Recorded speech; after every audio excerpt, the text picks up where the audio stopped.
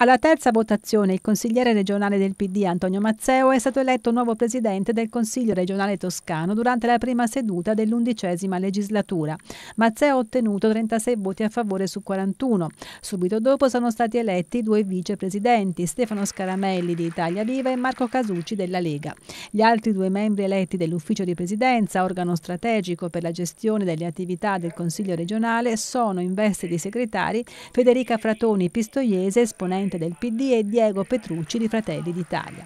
La seduta è proseguita con la presentazione del programma di governo da parte del presidente della giunta regionale Eugenio Gianni, raccolto in 149 pagine e 21 titoli.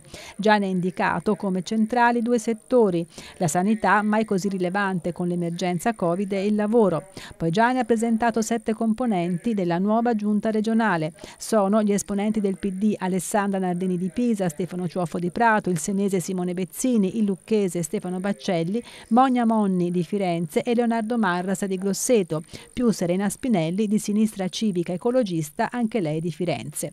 L'ottavo posto in giunta, previsto dallo statuto, per ora non è stato assegnato, ma il presidente Gianni si è riservato di completare la squadra entro la prossima seduta consigliare prevista per mercoledì 21 ottobre.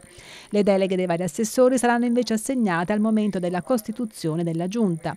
Gianni ha poi indicato Gianni Anselmi, Giacomo Bugliani e Jacopo Meglio come consiglieri delegati che parteciperanno quindi ai lavori della Giunta, prospettando inoltre una futura iniziativa di legge per portare a nove il numero dei componenti dell'esecutivo regionale, così come consentito dalla norma nazionale, ed introdurre la figura del sottosegretario alla presidenza come già fatto dall'Emilia Romagna.